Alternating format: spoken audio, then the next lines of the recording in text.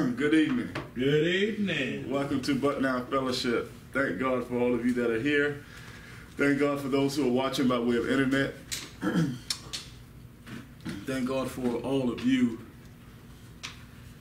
Thank God for all of you. Uh, just we'll jump right into it. We'll get right into it. Uh, just remember the gala for our G3 Foundation is going to be on November the 2nd. All right, that's going to be on November 2nd. And we're going to have our uh, Friends and Family Day on November 3rd, okay, uh, coming up. All right, so we'll be doing that. Uh, somebody texted me about the cruise. I have not got to the cruise just yet. Uh, we have not uh, got the information just yet as far as what we're going to do and how we're going to finalize that. So uh, we'll, I'll try to get that information together and I'll try to figure out uh, what is what and when we're going to do that, and so people can start planning for it, and that way you can you know pay monthly. You don't have to pay a bunch of money at one time, uh, and so I'll, I'll get that uh, going, and so and we'll have that. All right, and so also let's continue to pray for just pray for one another. Appreciate it. Uh, let's continue to pray for one another. Also, let's continue to pray for uh, those who, who, who we aforementioned. Uh, also pray for brother uh, Grant. Uh, uh, he also the, the one that made the design for our shirt and for the website.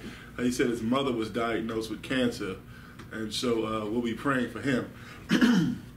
and so uh, we'll be, we'll be praying for him also, as well as. Um, I got a call from a pastor, one of the pastors down in Miami, uh, from my grandfather's church, and so uh, he's really excited about wanting to learn more. Uh, so, which is good, and so we'll continue to be praying for them as well. And also, I think that was it. Uh, uh, we just continue to pray. Let's pray for those individuals who are who are lost uh, in denominational systems, because it's a it's a the it's a uphill battle uh, uh, when we're uh, this flesh, this, this spiritual battle that we're battling. Uh, because there's so many people that are being deceived. There's so many people that don't know that they're being deceived, uh, and there's so many people who are comfortable with being deceived. Uh, and it's it's a sad thing, but it's a, it's a it's a battle nonetheless. And the more we know, the more we can shed light on others. And so we're praying for those individuals as well. we'll go ahead and get started on 1 Corinthians chapter 11. Uh, feels like I'm forgetting something. Uh, but I, I, can't remember right now, so, uh, but go ahead and turn to 1 Corinthians chapter number 11. For those people who have emailed and called me, uh, I have not gotten to it yet. Uh, and for the uh, call, text, or emailed, I'll get around to it. Uh, I've been kind of slack on that. Uh, just uh, uh simply with with just uh, work, uh, the kids being back in school is a little, little, more. I need a little more time now to, to get some things done. So, but just again, if you felt like I haven't answered and it's been a while, if you call, text, or email again, uh, that doesn't bother me. Uh, I just understand that you want your question answered, that, so that doesn't bother me. So that's fine. Uh, I know people think that they, you know, will be bothering me, uh, but that, but that's, but that's fine. Okay. So if I haven't gotten to it yet, uh, as a matter of fact, because sometimes uh, I'm human, so I don't remember everything when you call, text, or email. So if you haven't gotten your question answered, I'll, I'll be getting to it. so again, I thank God for your patience and uh, we'll, we'll, be uh, uh, going forward there. So I'll try to get to a lot of those this week, uh, and by the end of the week, I should should have it all done. Uh, so nothing else. Go ahead and turn to 1 Corinthians chapter number 11. 1 Corinthians chapter number 11. All right, now we left off right at about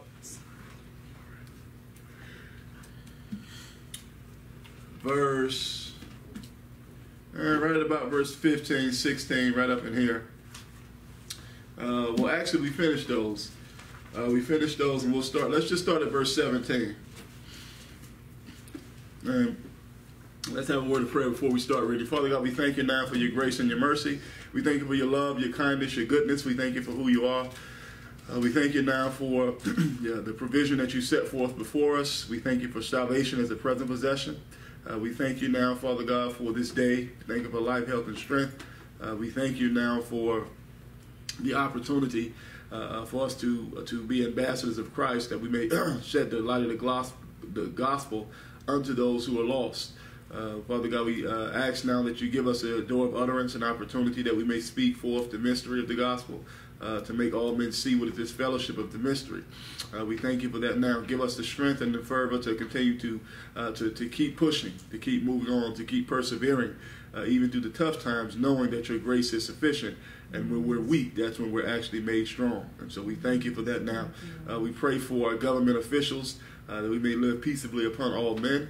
we pray now for our brothers and sisters and family members who are lost and denominational systems. We pray now that the scale may fall from their eyes, uh, that this glorious light of the gospel may shine into them. Uh, we pray now for those who are sick, who we've mentioned, Brother uh, Grant, his mother. Uh, we pray for her now the peace and the comfort of God uh, may rest upon her and upon him and his family. Uh, we pray now, in Jesus' name we do pray. Amen. Amen. Amen. All right, so First Corinthians chapter number 11. All right, now, we're, let, let, I'm going to read this verse all the way down Okay, and then we'll come back and answer these these these, these verses and go through them verse by verse. Okay. Now, as we're getting into this verse, we're now going to get down into the Lord's table, the Lord's supper, and we're going to get into this issue of the Lord's Supper. Okay. Uh, people ask, okay, sh uh, should we take the Lord's Supper? Should we not take the Lord's Supper? Some people religiously do it every first Sunday. Uh, you got to wear white. You got to do this. You got to do that. Some people say, well, if you take it and you're not worthy enough to take it, uh, which when they've always said that, I've always wondered, well, who is worthy enough to do it? Okay, mm-hmm. uh, but but you know, and we'll get into all of that, all right? Because again, there's a lot of misconception. Now, uh, one thing we have to understand is that whether you take communion or what people call communion, because we're going to see what the Bible explains about this. But when we when we talk about the Lord's Supper, okay, uh, and coming together. Uh, now, whether you do it or not, it's not going to send you hell, to hell one way or the other. Okay, uh, let me get that clear because again, Paul is talking about liberty in a lot of these verses with the Corinthians, mainly verse uh, chapter 9 10 and 11 okay? So when it comes to this issue it's not saying oh well pastor hobbs said we can do it or we can't do it. That's not really the issue okay? The issue is the the uh, underlining fact of what it is when was it instituted and why okay? So that's what we're going to get into. Now whether you decide to continue to do it or not that's your business okay? All right? And so understand i'm going to just give you the truth of what it is and what it's actually speaking about uh, because the uh, the definitions that people have come up with or the uh, uh, and putting uh, stipulations and obligations upon people to either do or not do has nothing to really do with why God what God intended it for. Okay, and so when we get into this, we have to understand uh, uh, these particular things. Okay, all right. So when we uh, when we look at this, 1 Corinthians 11, look at verse 17.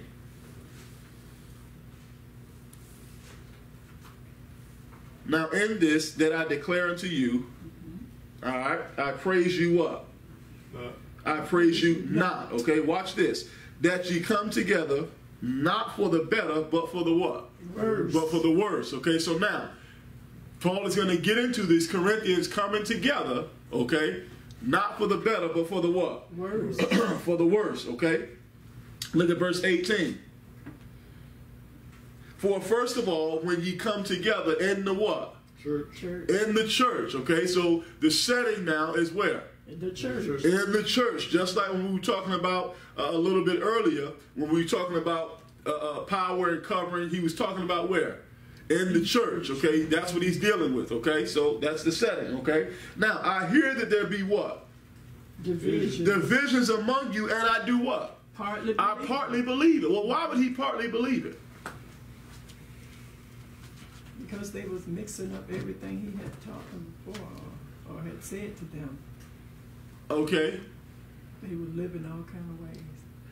Okay. They're both Jews and Gentiles in the same. Okay. But he says, he says, I hear that there be divisions among you, and I partly believe it. Mm-hmm. Based on what they already know about what they do. Okay, go back to 1 Corinthians chapter number 1. Exactly. First Corinthians chapter number one, look at verse 10.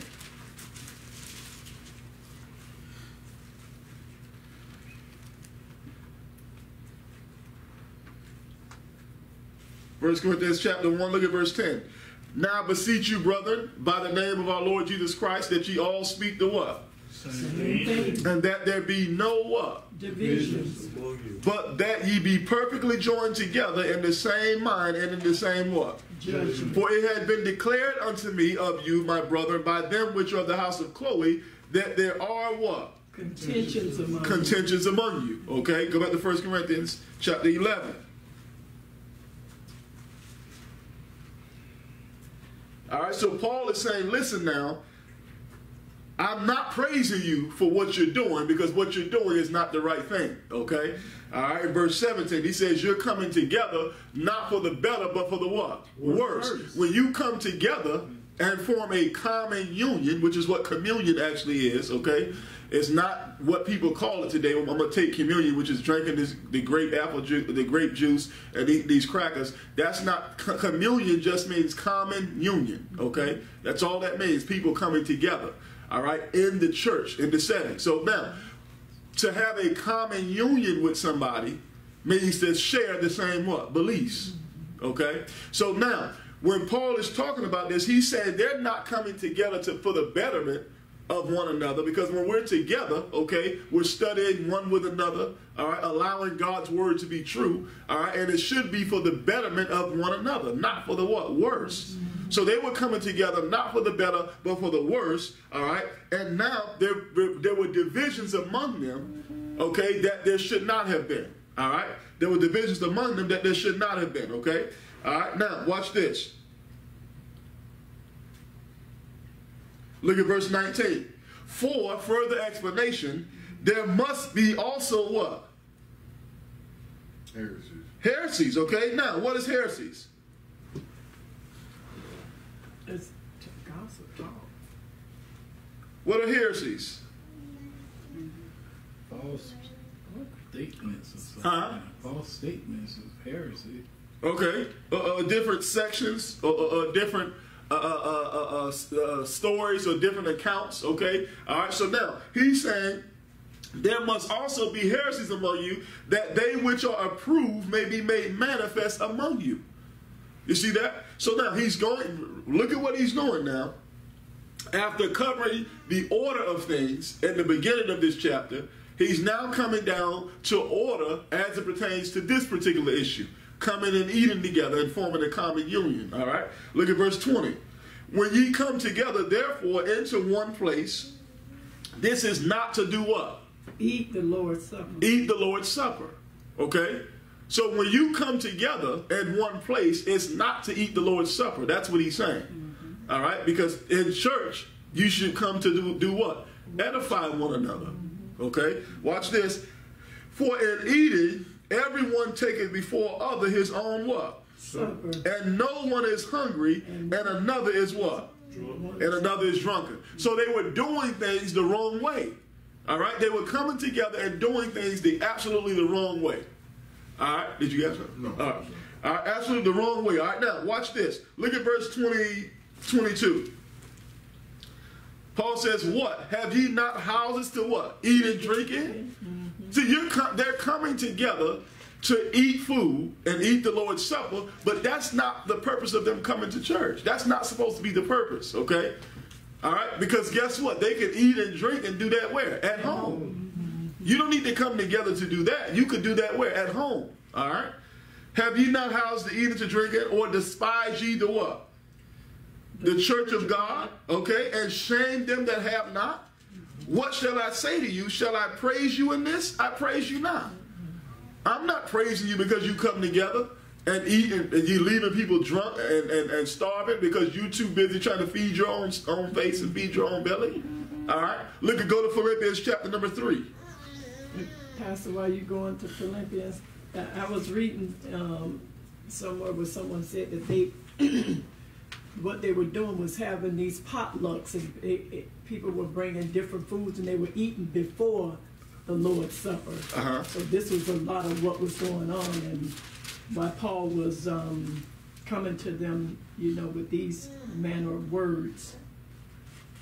For, for because they were doing what now? They were having dinner, like Uh-huh. a, a full fledged dinner, Uh-huh. before, and then right after dinner, then they want to have the Lord's Supper right in the church. Okay. And, And, and like you said, you know, they don't come to church to eat dinner at church. You could do that at home. uh huh. Uh-huh. But that's what I was reading that they say was different people would bring in different foods right there in the church and having supper before the Lord's Supper, or on top of the Lord's Supper. Okay. Does that make Uh, sense? it, it makes sense. I don't know. You've read it in the commentary or something? Yeah. Yeah. Okay. Yeah, too. Uh, yeah. Okay. Yeah, okay. Yeah, Uh, yeah, that's why we have to allow the Bible to, to, to say what it says, and that's it.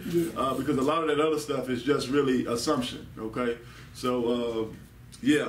Uh, because again, what they were doing, whether they were doing it potluck or whatever, they, whatever they were doing, what happens is they were the intent, okay? God always is, uh, is about the intent, just like when we talked about, about the long hair, short hair. All right, you can have a woman with long hair and she could be just a pure Jezebel. Okay, all right. So so understand it's not a, it's the intent, it's the heart. Okay, so understand when it comes to that issue. All right, it's not about the eating and whether they were doing it before or after. The, it, it's about the intent of what they were doing. Okay, uh, in, in the sense that they were coming together for the wrong reason. All right? Look at Philippians chapter three, especially in the church. Yeah. Look at Philippians three and look at verse nineteen.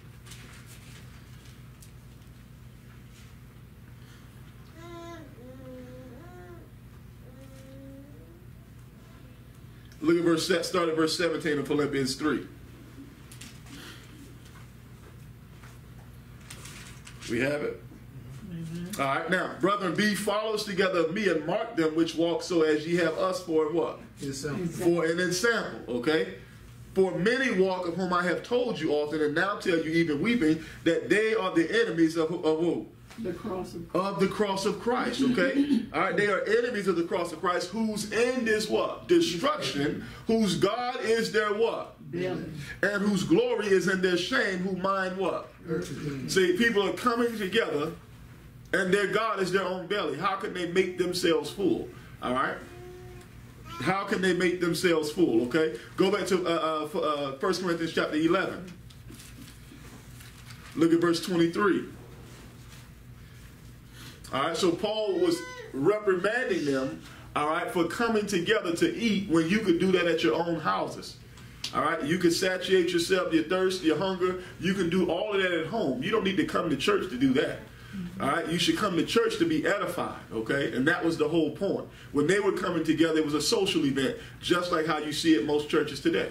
All right, it's to see who you haven't seen in a while, or it's to see who you're friends with. And, and, and the awkward part about that is that I was talking to a brother today. It's crazy how uh, uh, uh, he was telling me about how he had left the church that he was at because they were they were just not teaching the right thing. And he said he kind of got tired of it and he just couldn't take it anymore. They was they were he was trying to interject the truth in there and he just couldn't take it. And he said that he saw somebody at the store, one of the old members at the store, and was like, uh, you know, uh, I just really, really miss you.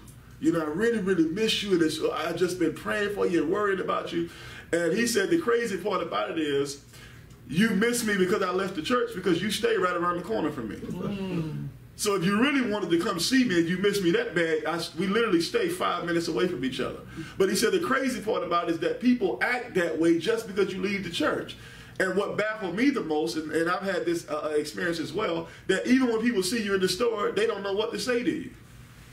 Eh, eh, eh, I, I, I, I- that just baffles me because just because I don't go to the same church as you don't mean I can't be friends with you. Mm-hmm. And the crazy part about it is they have all kind of friends that they go to their churches with, but yet when it comes to me, you don't know what to say. Okay, so so again, when it comes to that, this is what Paul is talking about. Okay, you don't have to be a church. You don't come to church to do all this socializing. Okay, we're coming to church to learn. All right, because guess what? Time is of the essence. All right, we ought to be redeeming the time, but days are evil. Okay, and again, don't get me wrong. Now, singing. All of that stuff that people do in church is not sinful. It's not sending you to hell. All right. I love music. Okay. I'm not opposed to that. What I'm saying is that if you're singing for an hour but preaching for 15 to 20 minutes, all right, then your priorities are mixed up. All right, because the word is more important than the emotion of singing. Okay, mm-hmm. that's the whole point. All right, but the first thing that people do is say, "Well, so you saying we can't sing in church?" No, I'm not saying anything. What I'm saying is that would you rather sing and be caught up in emotion, and then Christ come back and you don't know the gospel, or would you rather hear the gospel, all right, and no music, but you go to heaven when He comes? Okay, so and again, it's it's that's a little, you know, uh uh, uh, uh, uh, cut and dry, but that that's the idea of it. The word should be the main focal point because, again, we're not coming together to eat the Lord's Supper. We're not coming together to do any of these, to be entertained. We're coming together for the purposes of building up the inner man, edification. Uh, well, you mentioned that um, about the singing, you made me think about the songs and hymns. I mean, we went through a, a discussion about that and how, I can't remember which one, but the songs were, I guess, actual. Um, if I'm not mistaken, the songs I remember the book of Psalms are the actual songs. Right, right. So I thought the songs were actual as actual doctrine, while the hymns. I can't remember how we mentioned that. Yeah, yeah, because uh, Paul talks about it: uh, uh, psalms, hymns, and spiritual songs. Right. Uh, yeah, so the hymns were more of a uh, uh, the. the Psalms were, were doctrinal teachings. The hymns were more of a, a direct actual to the heart. Okay, the hymns speak directly to the heart about Christ. All right, and so the spiritual songs are those things talking directly about this doctrine for today.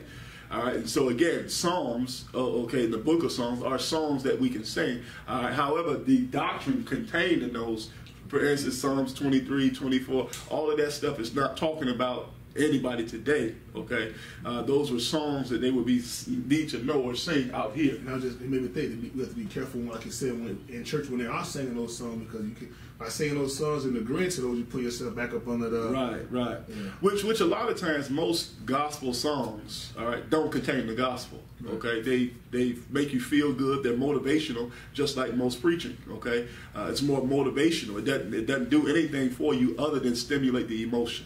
Uh, and again, sometimes it's not bad. When I'm feeling a certain way, I want to listen to a certain type of music. There's nothing wrong with that. Uh, what I'm saying is that when in church, okay, uh, uh, that is we're not redeeming the time. If we're going to sing, it need to be a song about the gospel, all right, so that people can be edified. Uh, uh that should be the spiritual songs. Should be the spiritual songs, right, right. Uh, but again, you know, most people come to church, they want to, you know, we're going to liven the place up, you know. You know, how much more alive can we be than in Christ and knowing His Word? Uh, but but again, you know, to each his own with that. And again, I'm not con- con- uh, condemning anything because I love music myself. Anybody knows me, I love all kind of music, any every genre. I love music. Okay, uh, so so again. My, my thing is if I'm hearing a, uh, a, a an R and B song, I don't want to hear a rap. Somebody rapping. I'm gonna hear somebody singing R and B, rhythm and blues. If I'm listening to a gospel song, I don't want to hear nothing talking about you know something where I could go get a better job. I want to hear something about the actual gospel. Uh, so, it, so to me, it's quite deceptive to say you're going to sing to sing a gospel song, but there's no gospel involved. Uh, uh, so, so that's just me. Okay, again, I'm not condemning anybody. You do what you want to do, but I'm saying we ought to be redeeming the time as pertains to these things. So when we come to church, it's not to do like Paul says, eat the Lord's supper, and do all of this. It's to be edified and built up. Uh, because just think about it. How often do people actually go home and study the Word? You know, how often do people really, really study the Bible? Because in church, that should be the place where you come. Even if you haven't heard read your Bible all week, you surely should be able to read a lot of it in church. That's the that's the purpose of coming. Mm-hmm. All right, because again, you go to most churches, you hear one scripture, maybe two, and if you don't read your Bible for five, six more days before you come again, you have no substance to, to, to keep you throughout the week. All right. So even if you read your Bible once a week here, you're going to at least get some substance. All right. That that will sustain you in a time of trouble. All right. All right. Look at this. First Corinthians. Um, where were we at? Eleven. Look at verse twenty-three. First Corinthians 11, look at verse 23. Now, Paul says, for further explanation now, for I have what? That which also I delivered unto you, that the Lord Jesus, the same night in which he was betrayed, did what? And, he, and when he had given thanks, he brake it and said, Take, eat, this is my body, which is broken for you. This do in remembrance of me.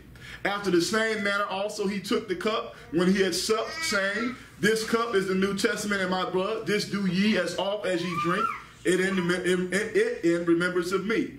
For as often as ye eat this bread and drink this cup, ye do show the Lord's death till he come. Wherefore, whosoever shall eat this bread and drink this cup of the Lord unworthily shall be guilty of the body and blood of the Lord. But let a man examine himself, and so let him eat of the bread and drink of that cup. For he that eateth and drinketh unworthily eateth and drinketh damnation to himself, not discerning what? The Lord's body. Not discerning the Lord's body, okay? Go over to Galatians chapter 1. We're going to go back. I want to read that whole thing because as I'm speaking now, we're going to cover pretty much all of these verses, okay? All right? But I want to I want to break down this issue of the Lord's Supper, what it actually is and what Paul is saying here. All right? Because we got to be careful of what's going on. We got to remember the context, we got to remember the audience to whom Paul is speaking, okay? And we got to remember all of that, okay? So go to Galatians really quick and go to chapter number 1 and look at verse 11.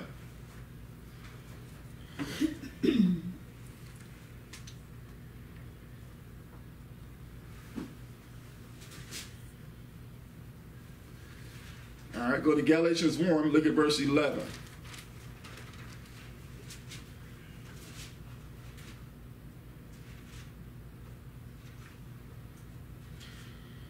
We have it. Man. But I certify you, brethren, that the gospel which was preached of me is not after who? It's not after man. For I neither received it of man, neither was I taught it, but by the what? Revelation of Jesus. Revelation of Jesus Christ. Now, watch this. So we know that when Paul is saying something of that which he received of the Lord, all right, Paul didn't receive the law from the Lord. He received that from Gamaliel. He was taught the law under the tutelage of Gamaliel. Okay? So when Christ came, Christ did not come teaching him a doctrine that was contained in his earthly ministry. When Christ came to Paul, it was teaching him the mystery of the, for this dispensation of grace. Go back to 1 Corinthians chapter 11. Look at verse 23.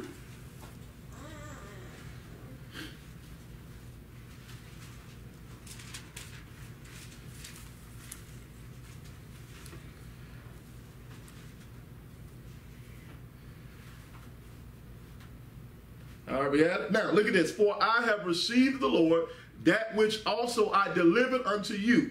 So Paul received something that he's delivered now. All right. That the Lord Jesus, the same night in which he was betrayed, did what? Took bread. Take bread. So now, who took the bread? The Lord.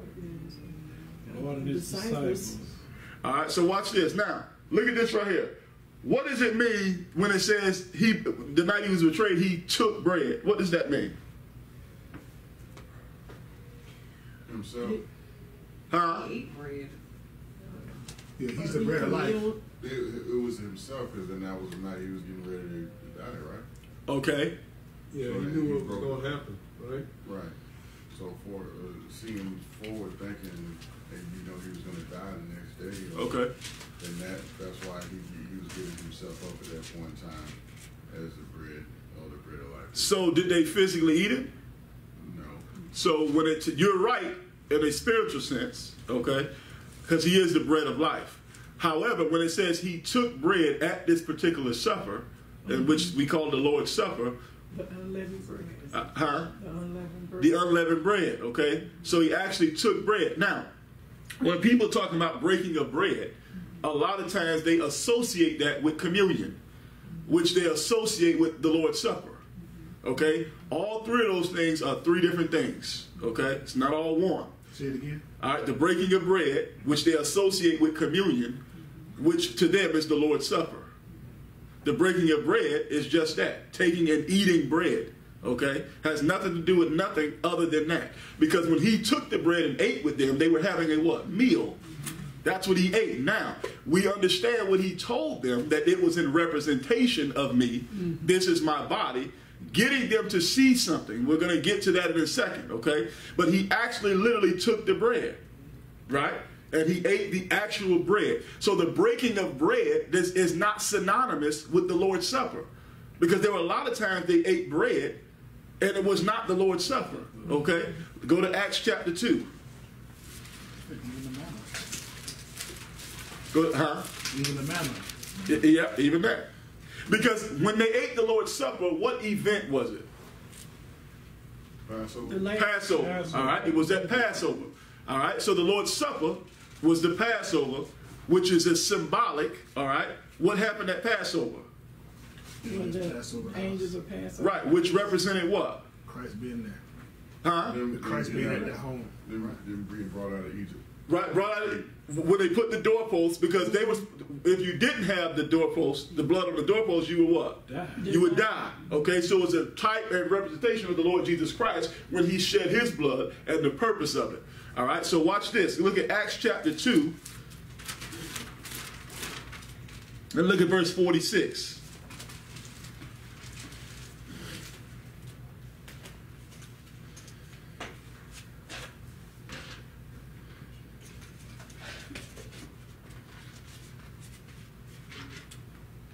We have it.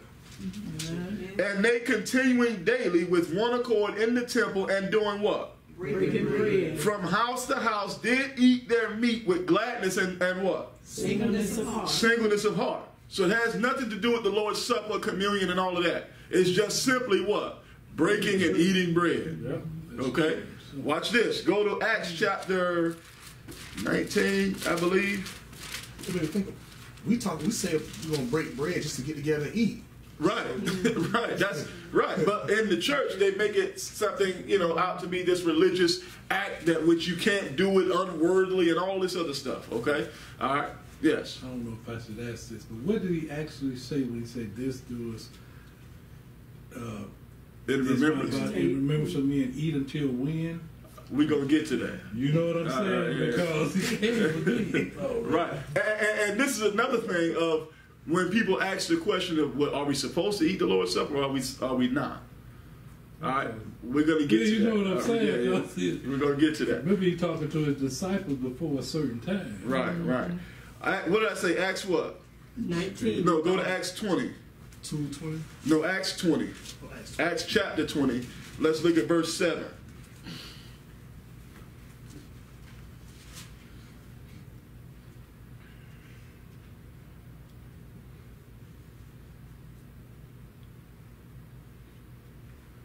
We have it? Mm-hmm. And upon the first day of the week, when the disciples came together to do what? Break bread. Paul preached unto them, ready to depart on the morrow, and continued his speech until midnight. Mm-hmm. So again, another instance where they came together to do what? Break bread, which was what? Eat. Mm-hmm. Which is to simply eat. That was it. All right. Now, go back to 1 Corinthians chapter 10.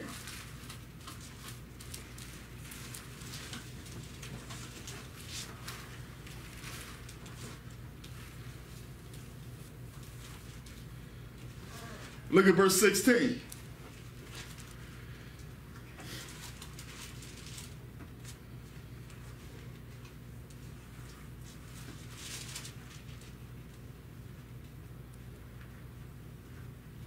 The cup of blessing which we bless is is it not the communion of the blood of Christ? The bread which we break is it not the communion of the what? Body of Christ. body of Christ. For we being many are one bread and one body, for we are all partakers of that one what? Bread. Of that one bread. So understand, Paul is speaking about coming together and becoming one what? One body. Body. Okay, so again, it's not synonymous with coming together to do to take communion, as they call it, or eat the Lord's Supper. Mm-hmm. Okay, now, did Paul eat the Lord's Supper or take communion? Or is he, com- uh, uh, go back to 1 Corinthians 11, or is he commanding us that this is what we should do in, until Christ returns? Is that the case? See, that's just the point. No, That's that question. According to 1 Corinthians 11, verse 23 and down, is Paul did Paul partake of communion or the Lord's Supper, and is he telling us that we ought to Paul could to do in remembrance of him? No, No, you couldn't. cause Paul know what I know. So, well, what does it say? So, 1 Corinthians 11, is he not saying that this is what they ought to be doing? To eat and come together to do what? That's what he's I thought saying. they were just fellowshipping. That's what they're supposed to be doing as one in body. Okay, so fellowshipping, what does that mean? Just talking and Do what you do, How study. many of them? Huh? Study. Do it like what they do. Read his verses. Read his Okay. scriptures. But he say one body.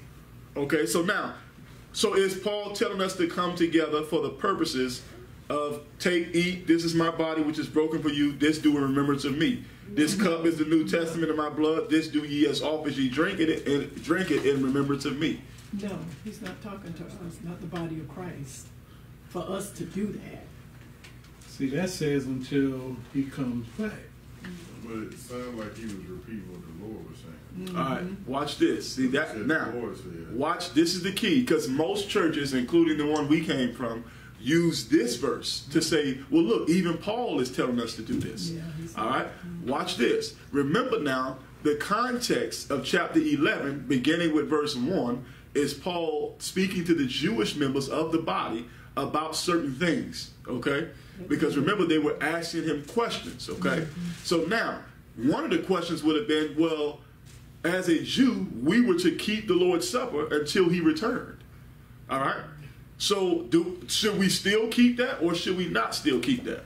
That's what that's what would have been one of the questions. So Paul is saying, listen, for I received, verse 23 of 1 Corinthians 11, I received the Lord that which I also delivered unto you, that the Lord Jesus, the same night in which he was betrayed, did what? To bread. So he's saying what Christ did for the purpose of explaining them how it was done. Remember now, even first, second, second Thessalonians, Paul is talking about uh, uh, when the great deceiver uh, uh, comes, all right, the Antichrist and all of that.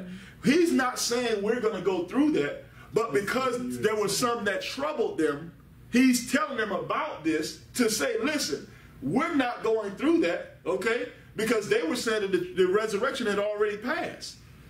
And so people were, they, the members of the body of Christ were thinking that now they're in the tribulation. Paul said, no, no, no, no, we're not going through this, okay?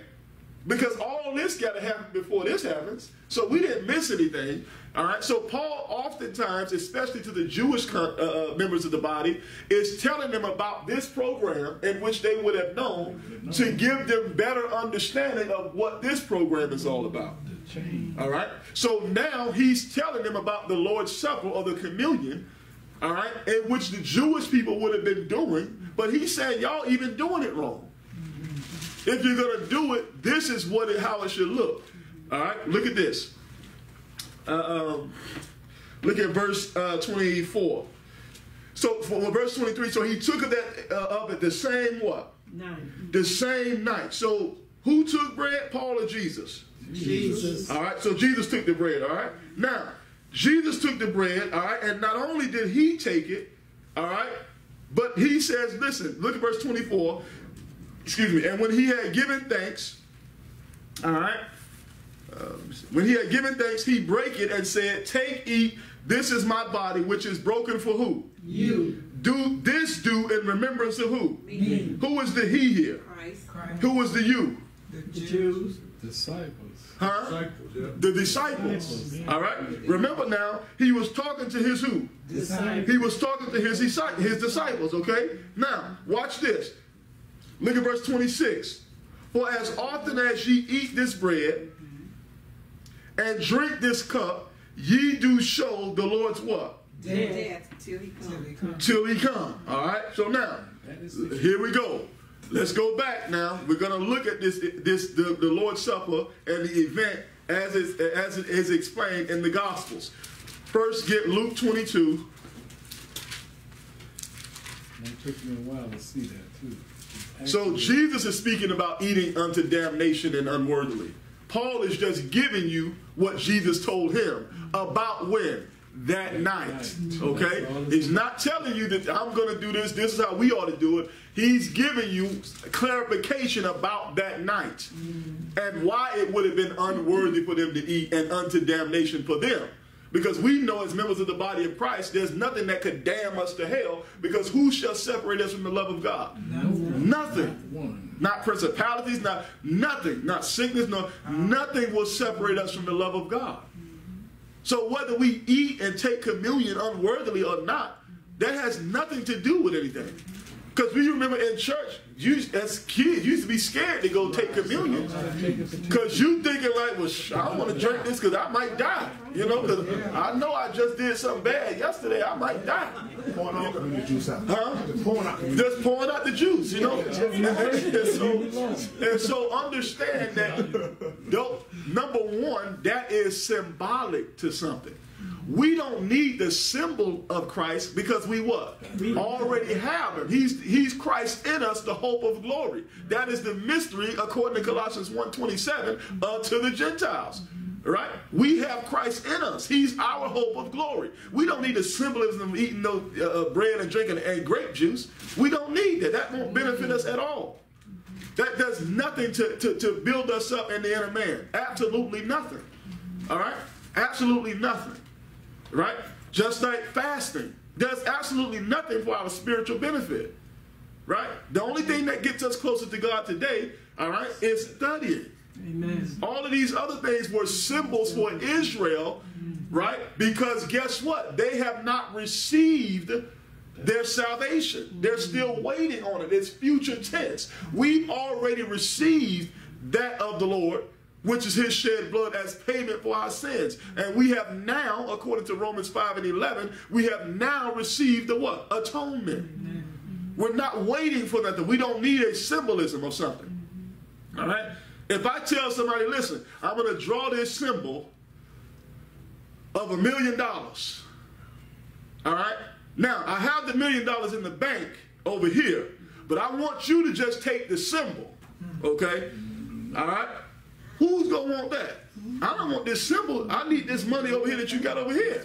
So why would somebody want the symbol of Christ when you can have him in his totality?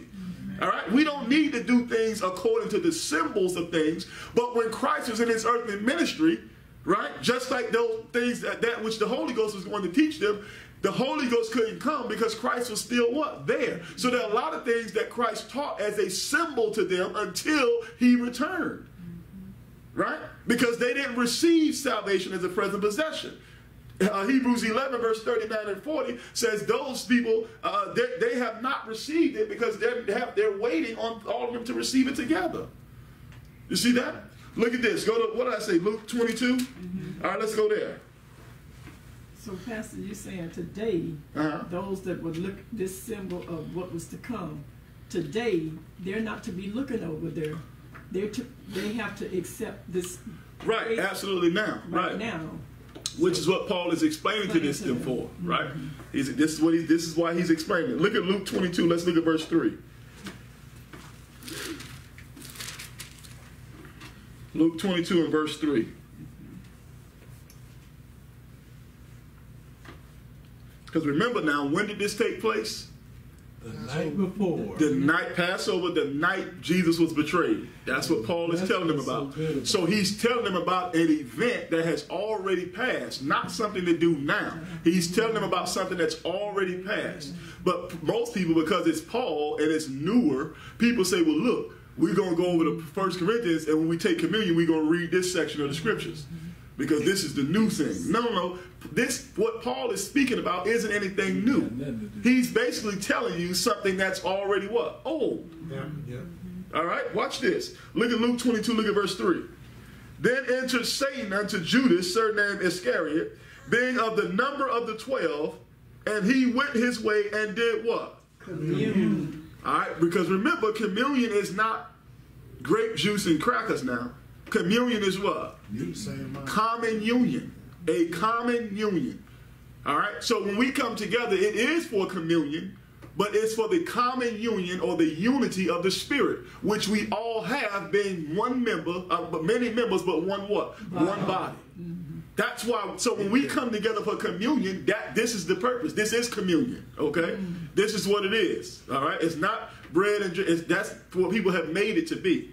Okay, watch this because he went his way and did what? Communed with them. No drink. Right? No drink enough. With the chief priests and captains, how he might do what? Betray him unto them. unto them. So they had the, they had a common what? Belief.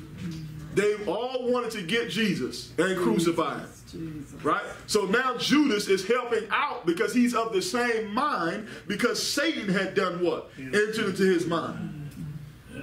You see that? So now, when most people are talking about, well, the devil made me do it. Now, did Satan actually enter into Judas physically? No. Huh? Physically, no. Mentally. He entered the mind. The battle is of the mind. So when people talking all this stuff about oh the devil could do so, no no no he's entering the mind because as as so many people are thinking that you gotta I gotta do all this to stay saved. That's that's the devil. Okay, that's what he's trying to get you to do.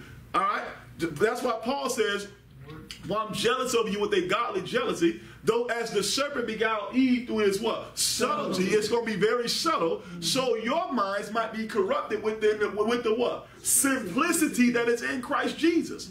It's simple. You ain't got to do all this communion and, and worried about if you're going to die if you do this, do it right. All of that stuff, we don't need all of that to please God.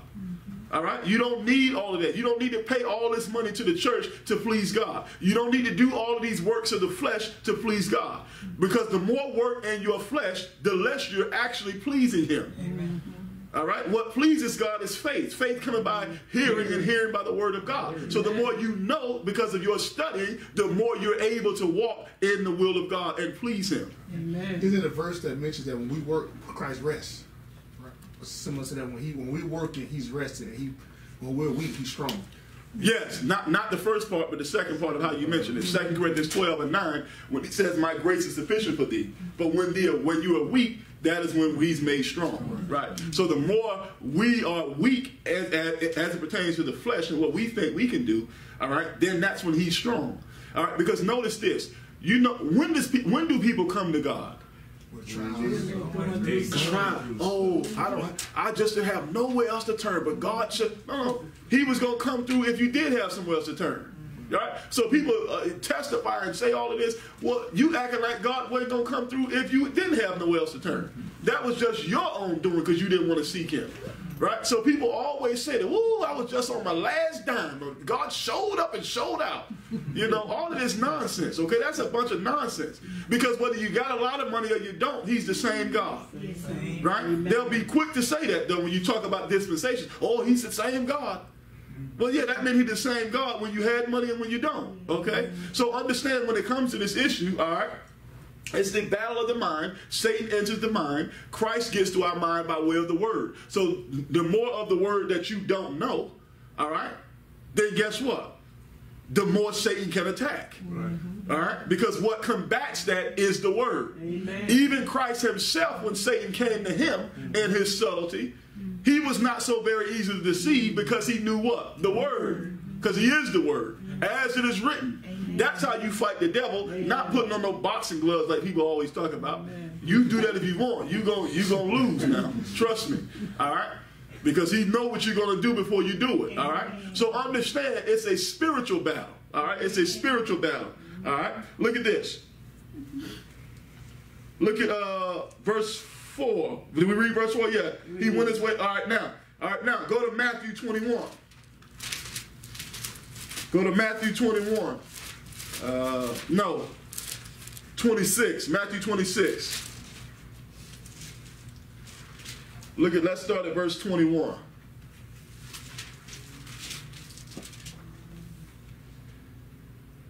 Ah. Man, I don't have time to get through all of this. Uh, What you gonna skip? yeah. On Sunday. Huh? Yeah, I'm gonna finish because I don't want to even get started on this because it's a lot, and so I don't want to. I don't want to break on this section, but I'm gonna read these verses and I'm gonna let y'all go a little early. All right, because I don't want to get into this because I don't want to keep y'all too late. All right, all right. Look at this. Look at Matthew 26. Look at Matthew 26 and look at verse 21. And as they did eat, he said, "Verily I say unto you." That one of you shall do what? Betray. So 1 Corinthians 11, verse 23, this is what Paul is speaking about. The very same night that he was what? Betrayed. Betrayed. So this is the night. This is what he's speaking about. So again, Paul is not commanding us to do something new. He's explaining and clarifying something what? Old. That's why we got to study the Bible. Don't just read it and say, "Oh, look, it's in Paul's epistle, so he's telling us to do it." No, he's not. He's explaining something of what was told to him. Because was Paul here in Matthew 26? No. So how would he have known about this to tell somebody? By revelation. That's why he said, I respect what I received, mm. I'm telling you. Okay, so he's explaining something to, to, to, to get his point across. Because Paul wouldn't have known this event. He wasn't here. All right? That's why I went to Galatians 1. Paul says, The things to which I received, I didn't receive it from man. So, which means Paul didn't learn this because somebody told it to him. Mm-hmm. He learned all of this from Christ himself. All right? Look at this Matthew 26, verse 22. And they were exceeding sorrowful and began every one of them to say unto him, Lord, is it I? So now you can imagine they sitting at the table with Christ saying, Listen, now one of y'all jokers going to betray me now. And you can imagine they probably thinking like, well, dang, who is that? Is it me? Because now you got to imagine they probably had something. This is just my own thinking, right? Just for jest, okay? They probably was thinking like, but dang, I was just talking about him the other day. You know what I'm saying? So, I wonder, is it me? Yeah, I wonder, you know. So understand that Christ knew that one of them would betray him, all right? And they're asking, well, dang, well, who is it? Is it me? Mm-hmm. All right? And I'm sure they probably was looking around like, dang, you did say something about him the other day. it might be you. I'm about to watch this. All right. Look at this. And verse 23, and he answered and said, He that dippeth his hand with me in the dish, the same shall do what? Mm-hmm. The Son of Man goeth as it is written of him, but woe unto that man by whom the Son of Man is betrayed. It had been good for that man if he had not been what? Wow. If he had not been what? Born. Watch this. Verse 25. Then Judas, which betrayed him, answered and said, Master, is it what? He said unto him, Thou hast what? See. Now Judas has a chance to repent. I'm He has a chance now because this is like Christ asking you a question to the answer he already knows. He's just putting it in the form of a statement. Now, one of you will betray me. So they asking, who is I? Judas, you know good and well it's you. you. Jesus. So now it's like Christ is giving him a chance. All right? God does not send people to hell. He just honors your wish. Mm. He'll give you just what you desire. Mm. Because Judas, he gave him an opportunity to do what? To repent, to mm. change his mind about this mistake he's about to make. So you're saying he did that by telling him that he was going to do it? He What's that? He gave the opportunity, right? Okay. He gave the opportunity, okay? Because now he's saying one of you will betray me. Had he betrayed him yet? No, yeah. So he still had an opportunity to make another decision. Mm-hmm. You see that? Mm-hmm. So Christ is always gracious and now and merciful, even though he knew. Mm-hmm. But he gave him a chance to repent. But did he repent? He did not repent. All right, now go back to 1 Corinthians 11.